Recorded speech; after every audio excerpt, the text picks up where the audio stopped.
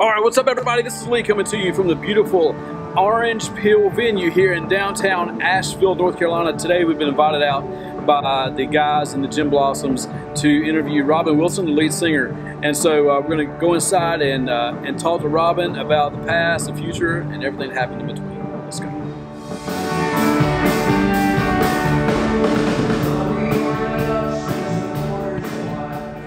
Everybody? This is Lee from Guitar Wishes, and today we are here in Asheville, North Carolina, at the Orange Peel with Robin Wilson, lead singer of the Gin Blossoms. How you doing, man? I'm doing very well. All right, thank you so much for sitting with us today. My pleasure. Cool. Well, uh, first off, how's the tour? How's everything going? Pretty good. You know, the band is playing well. Hmm. We sound good. Those are key factors to my they happiness. They do help. So uh, we've been selling tickets, and uh, you know, it's good work if you can get it. Absolutely. And not much longer left on this run. Just a few more shows, and then uh, finally things are going to slow down for us. We've done about 110 shows this year, Mhm. and I feel like I've hardly been home at all. So. Yeah. So probably gonna take a few months off and just chill at the house, right? Well, there's a few, a few flight dates here and there. Yeah. Um, I'm really excited about Halloween. Oh yeah. Yeah, that's a big one for me. Is it really? Do What are you gonna do? Do a full like haunted house at my place. Sweet. Smoke machines and uh, strobe lights everywhere, and blasting punk rock music, and scare the piss out of the neighborhood kids, Doesn't get much jumping out from behind bushes and stuff. I, I, I really get excited for Halloween. Are you still in Tempe? No, I live now on Long Island, New York. Wow. So, yeah, which is very, very different from Tempe.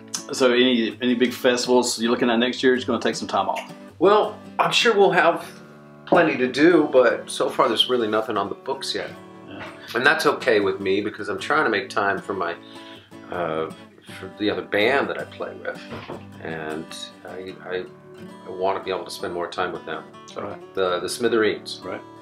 Right. So I got two shows with them coming up in January, Right. and I'm hoping to do more. I've only done about 20 shows with them this year. I'm hoping to do more than that next year. Right. But Gin Blossoms are always getting in the way of my side project. How dare they?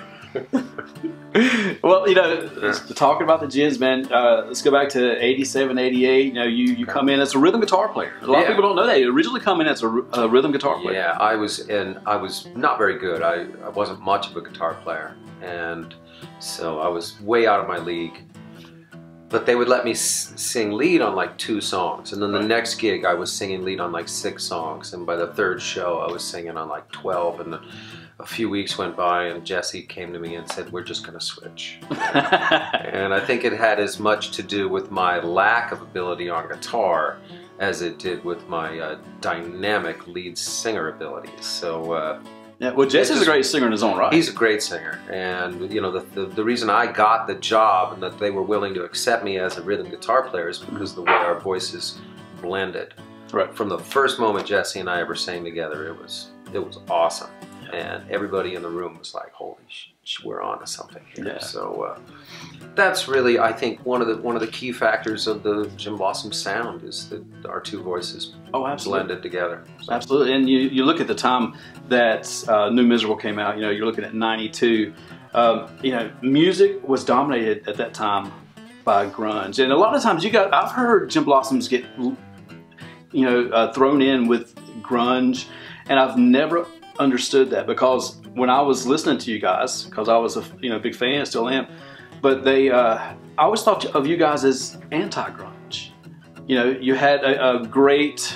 Um, a great sound that countered all the stuff coming out of Seattle. And around that time, there were a lot of bands from Tempe who had the same kind of thing going on. Great scene for a while. Yeah. At one point in like '94, there were seven bands in Tempe with major label deals, It's and uh, it, was, it was a really fun, really exciting scene that we that we had there. And it didn't have quite the the scope or scale of like Seattle or Austin, but uh, we were on to something really cool. There really was refreshments. And you know, I yeah, refreshments, uh, Dead Hot Workshop. Oh, and, yeah. uh, and before us, uh, you know, uh, Phoenix band Meat Puppets were were a big deal around Mm-hmm. town, and so we all looked up to them, and it was really cool. A couple years ago, we and the Meat Puppets were both inducted to the Arizona Entertainment Hall of Fame. So Really? that was a super cool deal for me.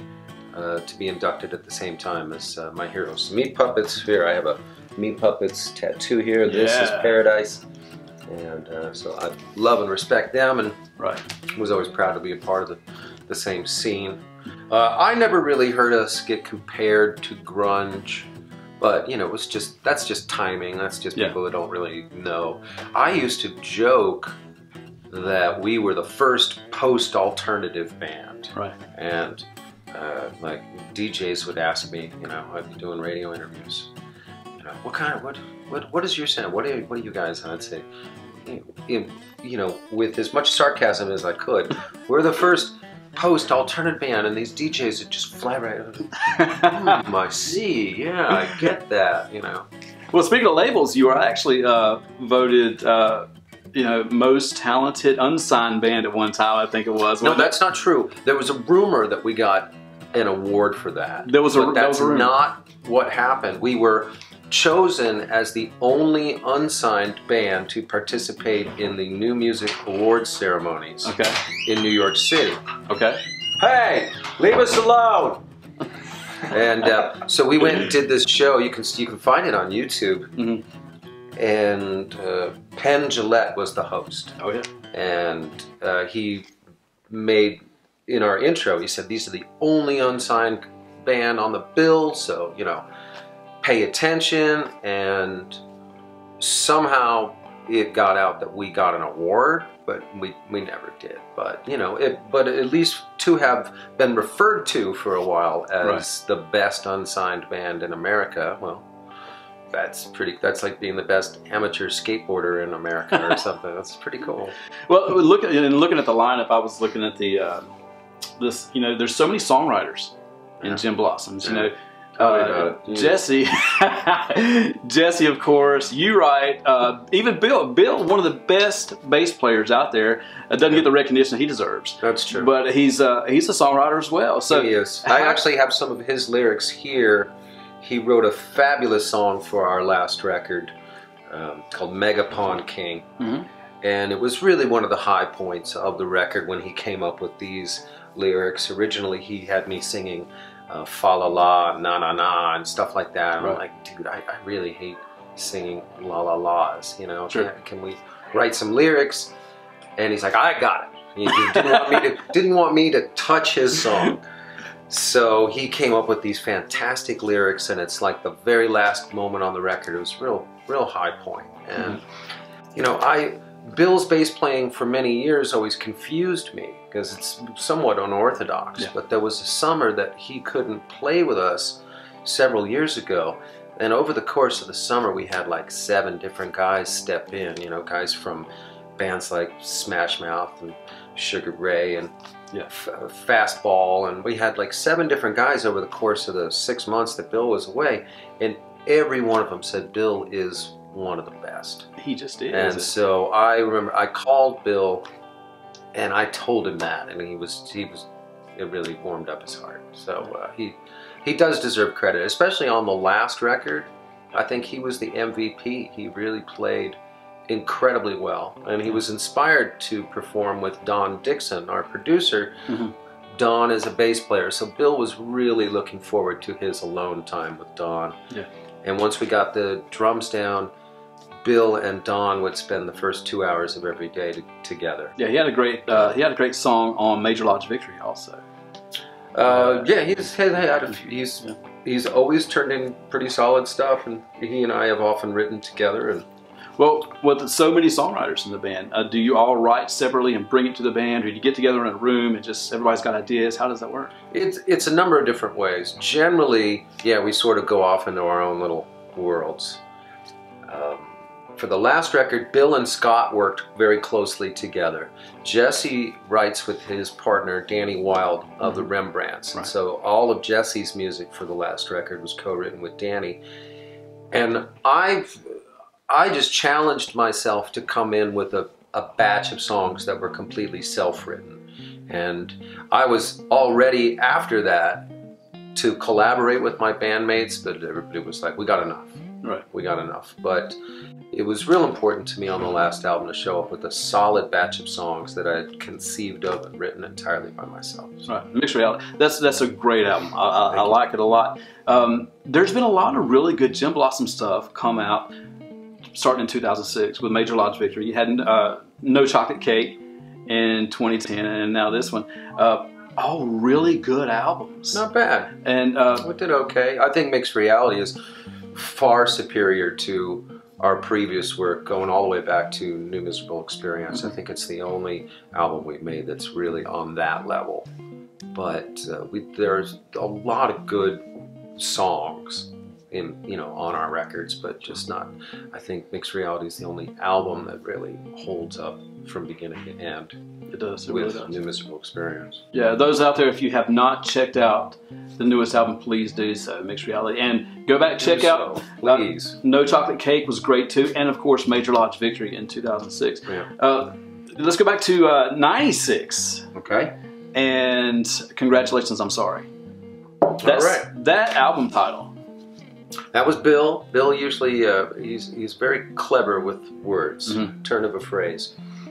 But that was a reaction to what people were saying to us at the time because we had just achieved all this success. New Miserable Experience was double platinum, four hit singles, and then right at that time was when Doug Hopkins committed suicide. Right. And so people were saying to us literally, congratulations on all your success and i'm really sorry about your friend we were Yeah. hearing those things all the time in the same sentence and so that's how bill bill came up with that and you know that album was really challenging there's really no more pressure that can ever be put on a band Sure. than to follow up a multi-platinum debut Right. to start from scratch and write a record that's going to compete with something that was that successful. It's an Right. incredible amount of pressure. Right. And so we, we more or less pulled it off. We finished the album, or we thought it was done. Yeah. And then the label called and said, Nope, you need another hit single. And they were perfectly clear that it had to be a hit single. Mm-hmm. And that was the moment, really, where we were under as much pressure and exterior influence as we were ever going to be in our entire career. And so the label's waiting, and we came up with Follow You Down. So I think of that maybe as our single greatest accomplishment. Right. To to face down that pressure and cough up a, a classic song that went on to be a top 10 single. We did it on Saturday Night Live. Mhm. Tonight you're going to hear everyone out there sing along on that on that tune and it- it's a it's a major success. I think it was Yeah. maybe the, the biggest moment of success. Especially written under the pressure you guys were under. especially, yes. So um, and it wasn't too long after that was was part of the pressure the reason you guys uh, kind of called it quits in Well, '97. it's part of you know, it wasn't so much the, the pressure as it was just we we just weren't getting along, and we were you know it was so it's such a strange thing to succeed like that, and we came from an alternative background where all of our favorite bands were groups like the Smithereens and the Replacements, and so we had outsold all of our heroes and accomplished more than we ever really expected, and it,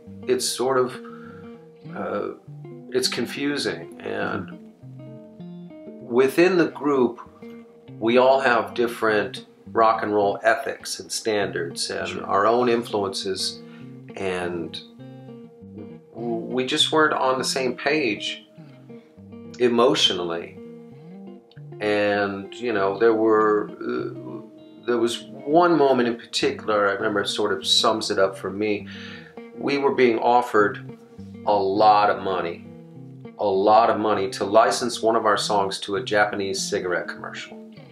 And this tore the band up. No we just we were all over the place on how to handle this Right. and what we should do about it and it was just a confusing moment for us, and we didn't want to feel like we were selling out. We wanted to succeed, but we didn't know exactly where those two concepts met. Sure. And so we were just we were unhappy. We weren't really getting along, and you know, at the time I was in a cover band with a couple of my oldest and best friends, and I had always wanted to be in a band with them. Mhm. So I just thought, well, I'm gonna I'm gonna strike out on my own.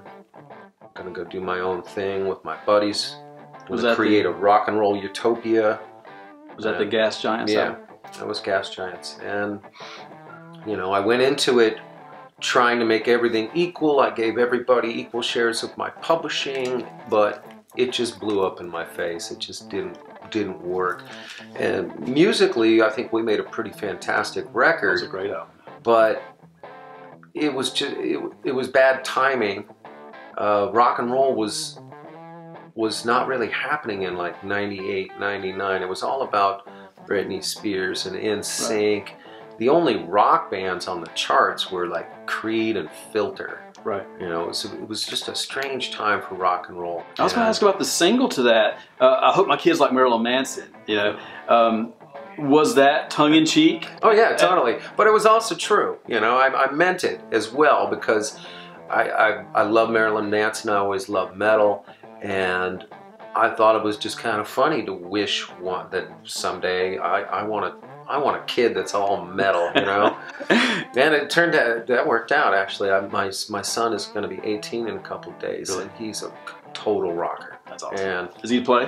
yeah, he's a really good guitar player, and so uh, you know that that was song was sort of prophetic, you know, and there was a lot of moments on that record where I was sort of trying to be tongue in cheek, you know, like the Sure. song uh, "Stinking Up the Charts." You know, I was Right, right. basically just singing about trying to make it, trying to succeed, and uh, you know, "Quitter" is a really sarcastic number for sure. So you know, I I'm, I'm really proud of that that record, but it you know, it just didn't, it didn't quite succeed commercially. And I'm And sure you guys were having offers to play left and right. we were, and so when the, right when the Gas Giants finally fell apart, Blossoms were getting all these offers to perform, and I had I had written a song that ended up on um, Major Lodge Victory. Uh, I had just finished writing a song called uh, "Come On Hard." Right. And I played it for a friend of mine, and he said, That's a Gin Blossom song. And it was a friend that I really respected. And th- that was right when we were getting all these offers, and After what you 20, bruh. shut up. And so I, I, I, you know, became very open to the idea of reuniting with, with, with Gin Blossoms. And it was definitely the right thing to do. Your declining neighborhood. Your declining neighborhood. You know, I was, we were playing the other night, and I'm like, oh, we don't really sound like any other band, you know? Well, the thing is, you never change your sound. You never change, try to change with the times to do anything Yeah. else. You have uh, remained unapologetically Gin Blossoms Yeah. from day one. Yeah. And I think that, you know, in my opinion, that has helped with the success that you still have. I, I would agree, and I appreciate that. Thank you. And uh, you know, fr- a close friend of mine was a big guitar player in Phoenix back in the day, and he was in mostly metal bands, but he would try whatever the new trend was. He was he was shooting for that. You know, the Black Crowes appeared on the scene, and next thing you know, he's in a band that's sort of like the Black Crowes, and he was super talented, but he was always just swinging for the fences and following whatever trends were happening. And I saw him in like '94 sometime, and he said, "You know what? I, I wish I had just stayed with you know where my heart is in music, and I wasn't always trying to follow you know whatever the you know the latest thing was on MTV." And he said, "That's one thing I respect about you guys," and that, that was a significant moment for me because it was the first time it was ever articulated to me. And I always knew that that's what we were doing, Right. and that we were uh, not subject to a great deal of external pressure. We we followed our own instincts. We always have, Yeah. and Yeah, Um, you're so. You're right. I What you are. You know, you, Yeah. you, anything anything else is unauthentic. So you know, everything I've ever heard, even the newest album, of course, Mixed Reality, is is uh, authentically Gin Blossoms. I would agree. Yeah. So go Um, figure. We got we got we got lucky. We're all in the right place. Uh, we needed each other. You know, we all wanted to be musicians, but I don't think any one of us in the band would have reached our full potential if it hadn't have been for the group. you know. Right. I was a bedroom songwriter. I was always doing open mic nights, and I had songs, and I wanted to start a band, but I hadn't gotten around to it yet.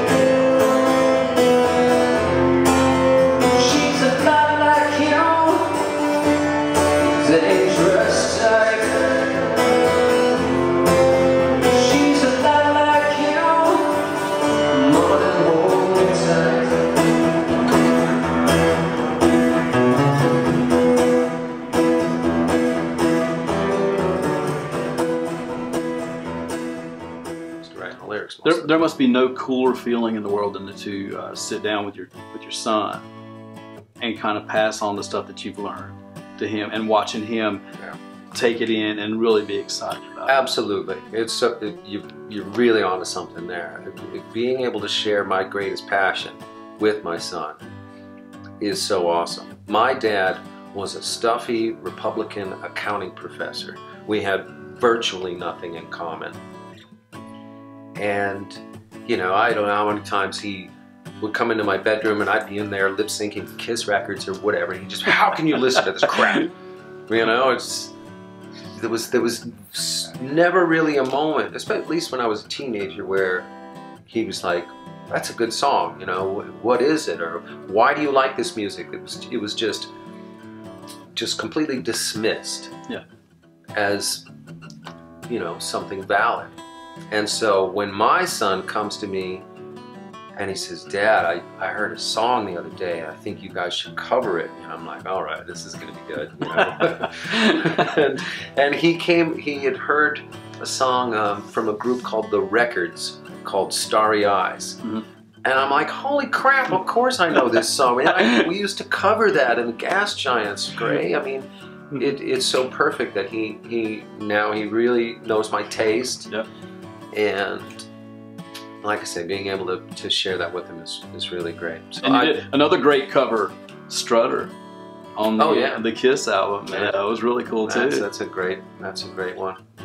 Uh, well, that's that's Cool. great, man. You talk about legacy.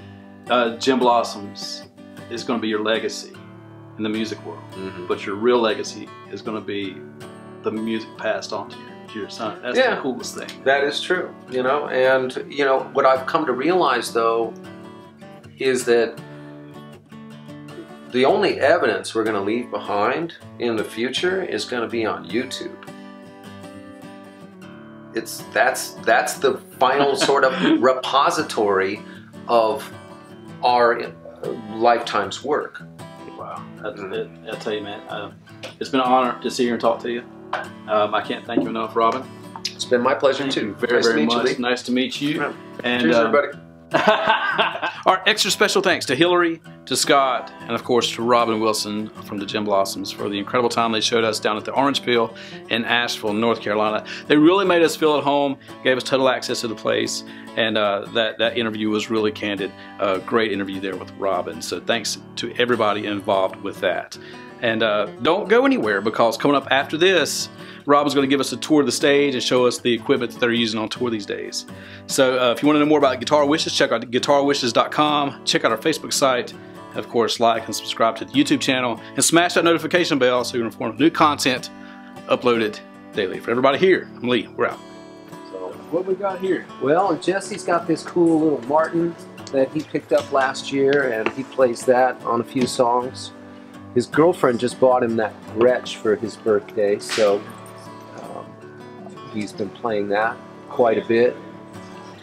And then I've never. s- Oh yeah, that Bronson, that uh, red Strat-looking thing, is from a guitar, a luthier in uh, Phoenix that we've known for years, and uh, so I guess that's his one of his. So. Is this yours? Uh, one of my One of- many Yeah. tamarines, and then uh, let's see what we got for Bill. I don't know much about basses. So we got a, a Jaguar bass here. Oh yeah. So isn't he the hipster? So, I, lo- I love the vault. Just we just got the the vault not too long ago. That's awesome. But let me take you upstairs. You can see the pedal boards and stuff.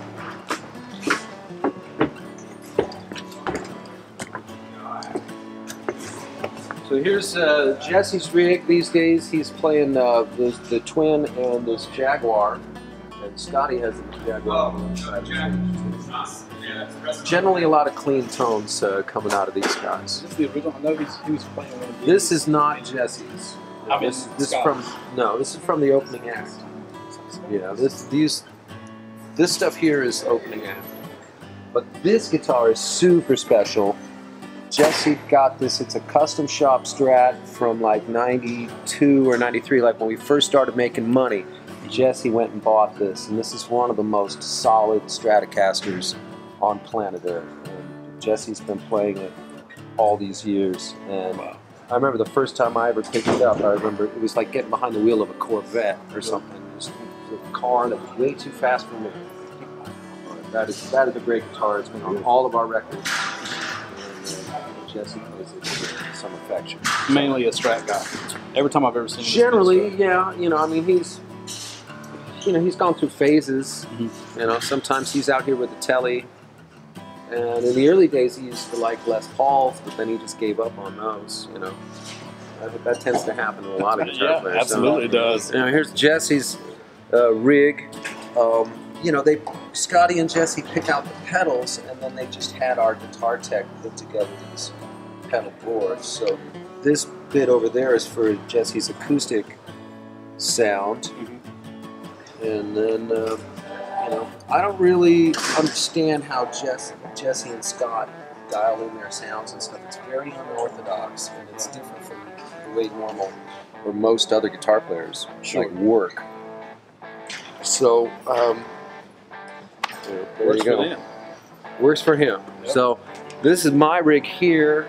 I love the Fender Acoustasonic amp. This is awesome, and I I prefer having an amp with me on stage when I'm I play acoustic guitar in about a third of the show these days, Okay. and I much prefer uh, having an amp. And I just got a couple of pedals there. I always I always like chorus on acoustic guitar. Going back to uh, uh, live record that Graham Parker made back in 1980, big influence on me, really high, a lot of chorus on his guitar. So I've always liked to put uh, chorus on my acoustic. So, but this amp, that's a, that's a great. How long have you had great- that? It's about three years now. Yeah, it, this is uh, one of the first ones. As soon as they started making these, I asked our friend Billy Siegel at Fender to, to set me up. So um, this guitar also Fender acoustic. I, I exclusively play Fender acoustics on stage, they take really good care of me. So shout out, many thanks to our good friends at Fender. So That's awesome. yeah, let's see what it's got for Scotty. Um, his here's his pedal board over here. You met the guy. Who? What are these pedals? Um, J and what are they called? J and something. JHS. JHS. All right, so we met that guy. He came to one of our gigs, and all of a sudden, Jesse and Scotty were all about his pedals. You know, once they once they met him, Yeah. they had to start playing that stuff. So I don't know what all's going on here. So he got, he's got a tremolo. Oh yeah, okay. He breaks that out a few times every show. I think these You are play, all just um, distortion. Did you play Into the World live? We haven't played that song live in a long time. Really? And so, uh, back here we got Scotty's rig. Also, he, Scotty also plays a Jaguar, and right now he's playing a deluxe reverb.